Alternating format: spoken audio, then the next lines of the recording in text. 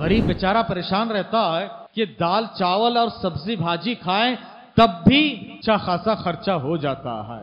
क्या करें? कहा जाएँ? बड़ी परेशानी रहती है। और याद रखिए, जब ये गुनाहें हो और सजाएँ आए तो गेहूँ के साथ घुन भी पीसे जाते मैंने कल भी अर्ज़ किया कि अच्छे लोग भी बुरे लोगों के साथ पीसे जाएँगे। इसलिए जो अच्छे हैं, उनको कोशिश ये करना चाहिए कि बुरों को दात तबलीग किया करें, उनको समझाया करें, उनकी इसलाह किया करें, और ये ज़िम्मेदारी जो अल्लाह ने आयद की है, दूसरों तक पहुँचाया करें। महँगाई महँगाई, आज सर चढ़ के बोल रही है, महँगाई का फितना, महँगाई की मार, महँगाई का अजाब हमारे ऊपर मुसलत है। और ये सब मिलकर बदलेंगे, तभी तब्दीली आएगी। एके दुके के होने की वजह से कुछ फ़र्क पड़ने वाला नहीं है, लेकिन उसका मतलब ये नहीं है कि हम ना बदले, सब बदलेंगे, तब हम बदलेंगे। नहीं, एक से ही अनेक बनते हैं। एक से ही अनेक बनते हैं, आप अपनी जगह पर हर आदमी कोशिश करें कि मैं बदलूं। तो ज़ाहिर सी बात, आहिस्ता आहिस्ता तब्दीली आएगी। हर आदमी ये सोचे कि मेरे अकेले बदलने से क्या होगा? तो ज़ाहिर सी बात है, सब सोचने लगे तो ऐसे ही होगा, कोई बदलेगा नहीं।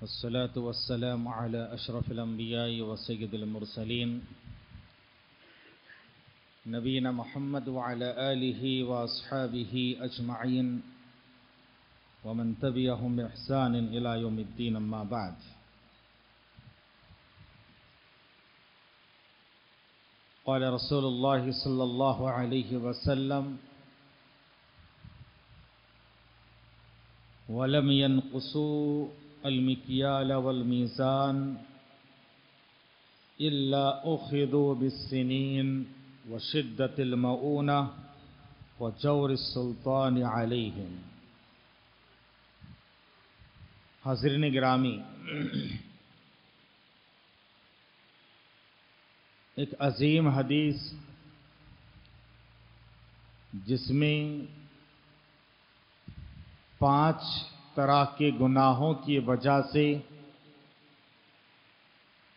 कई एक सजाओं का तस्करा है। उस हदीस को हम मालूम कर रहे हैं। गुदिश्ता दर्स में हमने एक गुनाह और उसकी सजाओं के ताल्लुक से मालूम की। दूसरी बात, प्यार नबी सल्लल्लाहु अलैहि वसल्लम ने यह फरमाई, वलम बिकियाल वल मीज़ान। जब कभी कोई कौम नाप तोल में कमी बेशी करे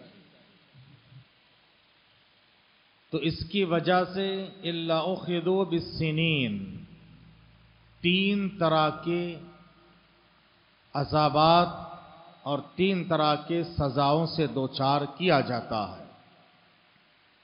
अगर किसी कौम में नाप तोल में कमी बेशी वाला मामला हो तो तीन सजाएँ हैं।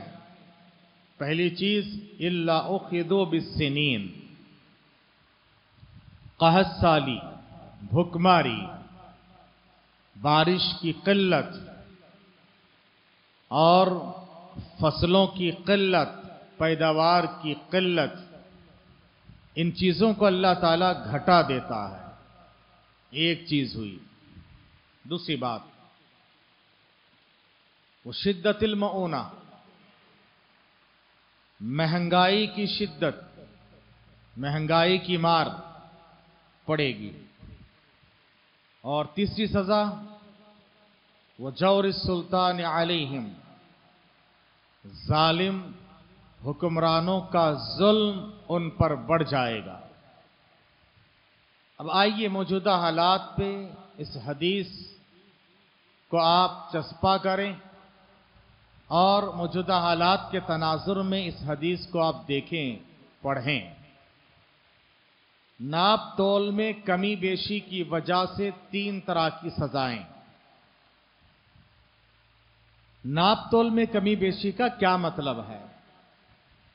यानी, जब तिजारत करने वाले, कारोबार करने वाले ताजिर अपनी तिजारत और कारोबार के ज़रिए से आवाम को धोखा दें। नबी के ज़माने में नाप तोल के ज़रिए से ही सारे कारोबार हुआ करते थे। उस ज़माने में बाज़ चीज़ों को नापा जाता, बाज़ चीज़ों को तोला जाता था। आज भी यही मामला है, यानी जब इंसान लेता था तो ज़्यादा लेता था, और जब देता था तो कम करके, घटा के, डंडी मार के देता था। ये गोया कि अवाम पर जुल्म है। अवाम पर जुल्म है। अवाम का नुकसान करना है। अवाम के हकूक को घटाना है। और इसकी वजह से अल्लाह ताला ने एक कौम को हलाक बर्बाद भी किया, कौम शुएब अलैहिस्सलाम। नाप तोल में कमी बेशी करते थे वो लोग। कमी बेशी का मतलब देते वक्त कम करके देना, लेते वक्त ज़्यादा करके लेना, बेशी करके लेना। बेच करके लेना और कम करके देना। ज़्यादा बढ़ चढ़ के लेना और घटा के देना। यही मामला है। अल्लाह ने इसे लोगों के ताल्लुक से फरमाया, एक सूर्य का नाम ही रखा है, सूरा मुतफ़िफ़ीन वैलुल मुतफ़िफ़ीन नाप तोल में कमी बेशी करने वालों के लिए हलाकत है, बर्बादी है, वैल है। और यह हलाकत और बर्बादी वायल यही है कि एक तो अल्लाह ने कौम को हलाक किया और दूसरे तीन तरह के अजाबात का तस्करा है। ओखिदु बिसनीन साली में मुबतला करना। अब जरा देखें कि वाकई मानी में आज वो सूरत हाल है या नहीं है। नाप तोल में कमी बेशी वाला मामला है। तिजारत और कारोबार में धोखा बहुत है।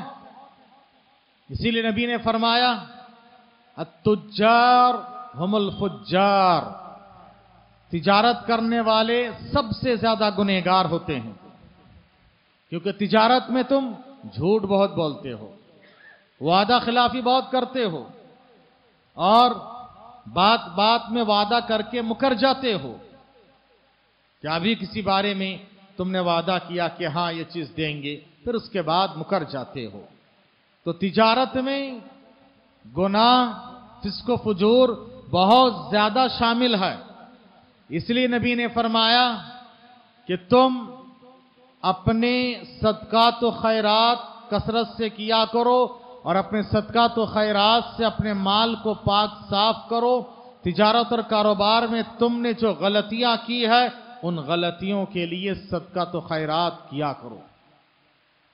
इसका मतलब यह नहीं है कि हम तिजारत में किसी को धोखा दे, ठगें और हराम तरीके से कमाएँ और उसमें से थोड़ा बहुत सदका कर दे तो पूरा का पूरा हलाल हो जाए। नहीं। इसका मतलब यह नहीं है पूरे एहतियात के बावजूद अगर कुछ हो जाए, इंसान इंसानी तकाजे में आकर, मजबूर होकर, शैतानी वसाविस में आकर, फितने में मुबतला होकर, उसके लिए हदीस है।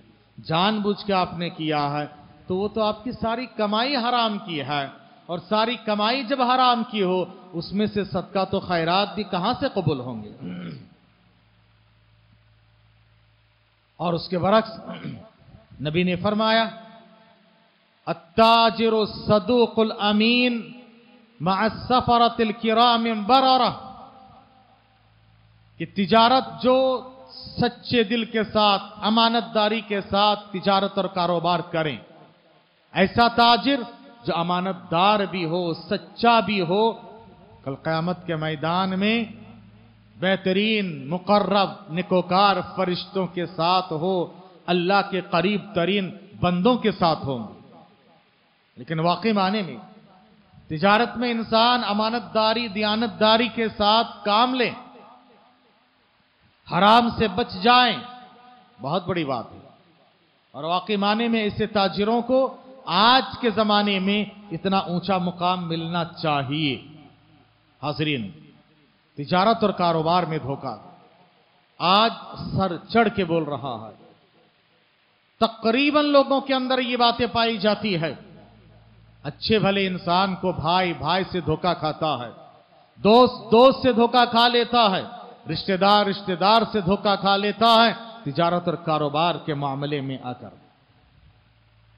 जब ये बात हो, माशरे में ऐसे लोगों पर जब जुल्म हो तो अल्लाह की तरफ़ से सजाएँ उतरती है उखिदुबिसनीन कहसाली आती है। बारिश नहीं, परेशान हाल। आज देखिए, बेंगलोर में बारिश नहीं है। पानी की किल्लत शुरू हो चुकी है। अल्लाह हिफाजत फरमाए और अल्लाह से हम दुआ करते हैं, आप भी दुआ करें कि अल्लाह तू हर शहर में और खसूसन हमारे शहर में बारिश बरसा। बारान रहमत से अल्लाह तो माला माल फरमा। बारिश ता फरमा, अल्लाह मस्कना अल्लाह मस्कना अल्लाह मस्कना। और इसकी वजह से बारिश के पानी पर ही इंसान की ज़िंदगी का दारो मदार है। वजालना मिनल माकुल्ल शैन हाई बारिश ना हो, फ़सलें तबाह, बागात बर्बाद, मुख्तलिफ़ तरह के पैदावार की कमी और उसका नतीजा क्या होता है? तीसरा, दूसरी सजा, व शिद्दत मऊना। महँगाई की मार। फ़सलें कम हो, ज़ाहिर सी बात है, महँगा, महँगी हो जाएगी चीज़। अल्लाह अकबर। लहसुन कितनी महँगी है? पिछले दिनों में तो मिलना मुश्किल। अभी तो अल्लाह का करम है थोड़ा बहुत।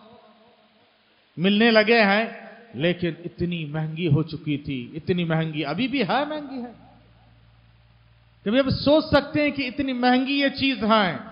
मामूली मामूली चीज़ कभी इतनी महँगी हो जाती है। कभी टमाटर इतना महँगा हुआ, कभी कोई सब्ज़ी तरकार इतनी महँगी हो गई। और है हकीकत में हकीकत में कोई चीज़ सस्ती नहीं है। गरीब बेचारा परेशान रहता है कि दाल, चावल और सब्ज़ी भाजी खाएँ, तब भी अच्छा खासा खर्चा हो जाता है। क्या करें? कहाँ जाएँ? बड़ी परेशानी रहती है। और याद रखिए, जब ये गुनाहें हो और सजाएँ आए तो गेहूँ के साथ घुन भी पीसे जाते मैंने कल भी अर्ज़ किया कि अच्छे लोग भी बुरे लोगों के साथ पीसे जाएँगे। इसलिए जो अच्छे हैं, उनको कोशिश ये करना चाहिए कि बुरों को दात तबलीग किया करें, उनको समझाया करें, उनकी इसलाह किया करें, और ये ज़िम्मेदारी जो अल्लाह ने आयद की है, दूसरों तक पहुँचाया करें। महँगाई महँगाई आज सर चढ़ के बोल रही है। महँगाई का फितना, महँगाई की मार, महँगाई का अजाब हमारे ऊपर मुसलत है। और ये सब मिलकर बदलेंगे, तभी तब्दीली आएगी। एके दुके के होने की वजह से कुछ फ़र्क पड़ने वाला नहीं है। लेकिन उसका मतलब ये नहीं है कि हम ना बदले। सब बदलेंगे, तब हम बदलेंगे। नहीं, एक से ही अनेक बनते हैं। एक से ही अनेक बनते हैं। आप अपनी जगह पर हर आदमी कोशिश करें कि मैं बदलूं। तो ज़ाहिर सी बात आहिस्ता आहिस्ता तब्दीली आएगी। हर आदमी ये सोचे कि मेरे अकेले बदलने से क्या होगा? तो ज़ाहिर सी बात है, सब सोचने लगे तो ऐसे ही होगा, कोई बदलेगा नहीं। ये जो कहते हैं कि भाई कारोबार और तिजारत पे बहुत मुश्किल है आज इस्लाम पे अमल करना। आप अब्दुलरहमान बिन आउफ रदी अल्लाह तहु को याद करें। हिजरत करके मक्के से मदीना गए तो साथ में सिर्फ़ इतना सा पनीर लेकर गए। उतना ही मौका मिला ले जाने के लिए, और कुछ नहीं। एक साहबी के साथ भाईचारगी हुई, घर लेकर गए। कहा कि देखो, ये मेरे घर के दो हिस्सा है, आपको जो चाहिए कहिए, आपके नाम दे देता हूँ। उन्होंने कहा कि अल्लाह ताला खैर बरकत फरमाए, नहीं चाहिए मुझे। कहा कि मेरी दो बीवियाँ हैं, आपको जो पसंद है कहो, मैं तलाक देता हूँ और आप उसके बाद उनसे शादी कर लो इद्दत के बाद। बहुत बड़ी कुर्बानी। तारीख आज तक इतनी बड़ी कुर्बानी को दिखा नहीं है। इतनी अजीम कुर्बानी है ये। ज़मीन कहा कि ये मेरी दो ज़मीन है, आपको कौन सी चाहिए कहो, मैं आपको आधी ज़मीन दे देता हूँ। अल्लाह अकबर, कोई रिश्तेदारी नहीं है। लेकिन सबसे बड़ी रिश्तेदारी ईमान की रिश्तेदारी याद रखिए। और बसा औकात ईमान की रिश्तेदारी खूनी रिश्ते से बढ़ के हैं। गजवा बदर का मौका, सुहेब रोमी रदी अल्लाह तु या मुसब बिन उमैर का वाकया है। मुसब बिन उमैर रदी अल्लाह तु का वाकया है। बड़े मालदार साहबी, मुसब बिन उमैर। और आजकल के मालदार, उनकी मालदारी के सामने पानी भरेंगे, याद रखो। कुछ नहीं है। चाहे वो दुनिया के नंबर वन मालदार भी हो। दुनिया का नंबर वन मालदार रोज़ाना नया कपड़ा पहनता है? नहीं पहनता है। मुसब बिन उमैर उस जमाने में कपड़ा जो पहन लिए, कभी धुल के नहीं पहने हैं। कपड़ा पहने दो चार दिन, मैल कुचैल हो गया, चेंज करके नया कपड़ा। इतर ऐसे लगाते थे जिस गली से गुजरते थे, घंटों वो गलियाँ महकती थी। और लोगों को पता चलता कि हाँ, यहाँ से मुसब बिन उमैर गुजरे हैं। अल्लाह अकबर, इस्लाम कबूल किए। वालिदा ने कहा कि सब छोड़ दो, सब छोड़ छाड़ के लंबा वाकया है। चले गए हिजरत करके। हिजरत करने के बाद जब वो गए तो हालत ये थी कि जिसम में कपड़ा नहीं, एक कपड़ा है, उसमें बटन नहीं है तो पीपल के कांटे से उसको लगाए हुए हैं। और गजवा वहद में शहीद हुए, कफन देने के लिए कपड़ा नहीं है। सर ढाको तो पैर खुल जाए, पैर ढाको तो सर खुल जाए। अल्लाह के रसूल ने फरमाया, सर ढाक के पैर में इसखर के घास रख दो। उनका वाकया देखिए गजवा बदर में उनके सगे भाई मुसलमानों के खिलाफ आए और पकड़े गए। एक मुसलमान उनको बाँध रहे थे, कैदी बना रहे थे। मुसब बिन उमैर का गुजर हुआ तो कहा कस के बांधो और लेकर जाओ। और भारी भरकम फिदिया उसूल करना। अच्छा खासा मुँह मांगी कीमत लेना। अगर फिदिया देकर छुड़ाने की बात आए तो भारी भरकम फिदिया लेना, क्योंकि इसकी माँ बड़ी मालदार है। ये नहीं कहा कि मेरी माँ। ये उसके भाई ने कहा, तू मेरा भाई नहीं है? कहा कि, यहाँ कुफर इस्लाम की बात है, याद रख। यहाँ घर में तो मेरा भाई होगा, खूनी एतबार से भाई होगा यहाँ पर ये मुसलमान मोमिन मेरे भाई हैं, अल्लाह अकबर। याद रखिए बसा औकात ईमानी रिश्ता खूनी रिश्ते से बढ़ के होता है। हक की बात आए तो ये नहीं है कि मेरा खूनी रिश्ता आए, मेरे भाई, बिरादरी, कबीले, दोस्त, अहबाब नहीं। हक की बात में साथ देना चाहिए और हक की बात करना भी चाहिए। और ये याद रखिए कि इसी रिश्ते की अजमत का ख्याल आज हमें रखना चाहिए। वरना वो जाहिलियत की बात होगी कि अपने भाई बिरादरी का उनसुर अखा का जालिमन और मजलूमा। अपने भाई की मदद करो, चाहे जालिम भी हो, मजलूम भी हो। यह जमाने जाहिलियत की आदत है। बहरहाल, खूनी रिश्ता से बढ़ के कभी ईमानी रिश्ता होता है। तो अब्दुलरहमान बिन आउफ जब आए और उनके सामने इसे कुर्बानियाँ पेश की, अल्लाह अकबर, अंसार महाजरीन की कुर्बानी आज तक मिसाल है। अब्दुलरहमान बिन आउफ ने कहा, मुझे कुछ नहीं चाहिए। देखिए, खुददार जो होते हैं ना, अल्लाह ताला उनको देता है। मेहनत करने वालों को अल्लाह देता है। उसके बाद कहा, मुझे बाज़ार का रास्ता बता दो, बस काफ़ी है। और जब तक मुझे मौका ना मिले रहने की जगह दे दो, काफ़ी है। आपकी जायदाद मुझे नहीं चाहिए। बाज़ार गए, इतनी बरकत इतनी बरकत, अल्लाह अकबर, के चंद ही दिनों में काफ़ी मालदार हो गए। और मालदारी का हाल यह है, साहब इकराम में दूसरे नंबर पे या तीसरे नंबर पे उनकी मालदारी की बात आती है, यानी जुबैर बिन अव्वाम और उस्मान गनी और अब्दुलरहमान बिन औफ, ये तीन साहब इकराम में सबसे बड़े मालदार साहब इकराम थे। जो अल्लाह के रास्ते में बेतहाशा लुटाए, अल्लाह ने दीनदारी दी, मालदारी भी, दो दिलदारी भी अल्लाह ताला ने दे दी है। और ना बहुत सारे मालदार तो होते हैं, मगर दिलदार नहीं होते हैं। दिलदारी नहीं रहती है, ये बहुत ज़रूरी होता है। जब उनका इंतकाल हुआ, एक एक बीवी को, चार बीवियाँ थी उनकी, एक एक बीवी को उस जमाने में, एक बीवी को कितना मिलता है? बीवियों को वन एट मिलता है। वन एट को भी फिर चार बीवियों में तकसीम करना है। किसी के पास आठ रुपया है तो बीवियों को सिर्फ़ एक रुपया मिलेगा। वो एक रुपया भी चार बीवियों में तकसीम करना यानी पच्चीस पच्चीस पैसा मिलेगा।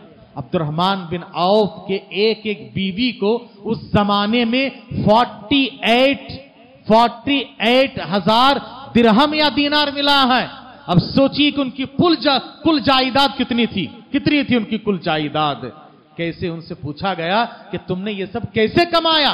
कहा कि देखो, मैंने कभी झूठ नहीं कहा, धोखा नहीं दिया, हक के साथ व्यापार और कारोबार किया। जब उस जमाने में मुसलमान कितने थे भाई? वो यहूद के साथ मुशिकिन के साथ कारोबार किया करते थे। जब वो उस जमाने में इतने बड़े मालदार बन सकते हैं, आज अब कहते हैं कि भाई, नहीं हो पाएगा, तिजारत और कारोबार में नहीं चल पाएगा। कैसे करेंगे? बहुत मुश्किल है। याद रखिए करना चाहिए, अल्लाह ताला रास्ता खोलता है। बहुत ज़रूरी है। आखिरी बात, वो जौर सुल्तान अलैहिम। और अगर ऐसे ही लोगों के साथ, अवाम के साथ धोखा हो, कारोबार और तिजारत में नाप तोल में कमी बेशी हो तो तीसरी सजा यह नाफिज होती है। अल्लाह जालिम हुक्मरानों को मुसलत कर देता है, उनका जुल्म सितम बढ़ते जाता है। मेरे ख्याल से इसकी उतनी चंदा वजाहत की ज़रूरत नहीं है।